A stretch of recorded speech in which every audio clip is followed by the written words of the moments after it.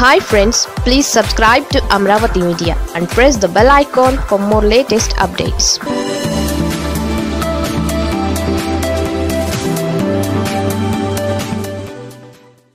కొత్త జిల్లాల్లోని కొత్త పదవులు వేళ్ళకే ఏపీలో కొత్త జిల్లాల కసరత్తు వేగవంతం చేశారు.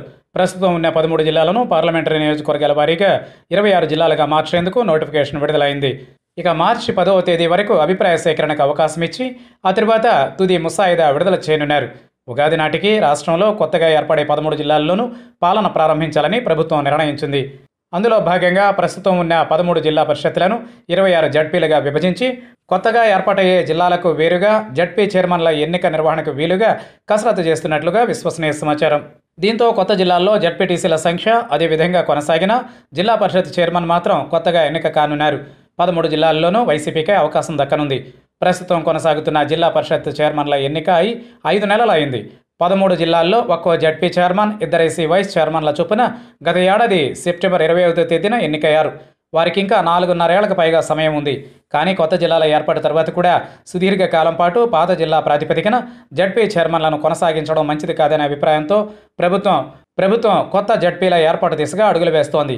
తొలుత ఏపీలో సైతం తెలంగాణలో అనుసరించిన విధానాన్నే అమలు చేయాలని భావించారు. అక్కడ జిల్లాల పునర్విభజన తర్వాత కూడా అప్పటికే ఉన్న జడ్పీ చైర్మన్లే పదవీకాలం ముగిసే వరకు ఆయా పదవుల్లో కొనసాగారు.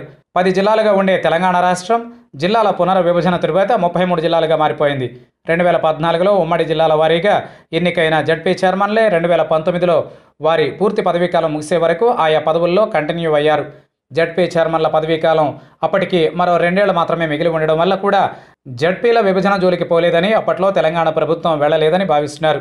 ఏపీలో జిల్లాల పునర్విభజన తర్వాత కూడా ఇరవై ఆరు జిల్లాల ప్రాతిపదికన జడ్పీలను విభజిస్తే అన్ని చోట్ల అధికార పార్టీకి స్పష్టమైన మెజారిటీ ఉందనే విషయాన్ని గమనించాలని పలువురు స్పష్టం చేస్తున్నారు. ఈ దృష్ట్యా కొత్త జిల్లాల ప్రాతిపదికన జడ్పీ చైర్మన్ల ఎన్నిక నిర్వహణకే ప్రభుత్వం సుముఖంగా ఉన్నట్లు చర్చ జరుగుతోంది. ప్రస్తుత జడ్పీ చైర్మన్ల పదవీకాలం మధ్యలో కొత్త జిల్లాల వారీగా జడ్పీల విభజన ప్రక్రియలో న్యాయపరమైన చిక్కులు ఏమైనా ఉన్నాయా అని నిర్ధారించుకోవడానికి పంచాయతీరాజ్ శాఖ న్యాయ సలహాలు తీసుకుంటోంది. ఇప్పటికే ఆ శాఖ ఉన్నతాధికారులు రాష్ట్ర అడ్వకేట్ జనరల్కు లేఖ రాశారు. అక్కడి నుంచి అభిప్రాయం రాగానే ఉగాది నాటికి కొత్త జిల్లాలు ప్రారంభమైన వెంటనే కొత్త జిల్లాలకు కొత్త జడ్పీ చైర్మన్లను నియమించే ప్రక్రియకు రంగం సిద్ధం చేస్తున్నారు.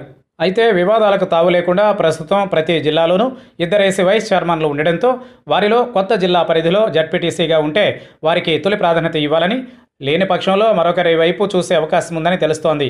ఇదే సమయంలో న్యాయపరంగా సలహా తీసుకుంటూనే కొత్త జిల్లాల జడ్పీ చైర్మన్ల నియామకంలో సామాజిక సమతూకం పాటించే విధంగా నిర్ణయం ప్రకటించే అవకాశం ఉంది.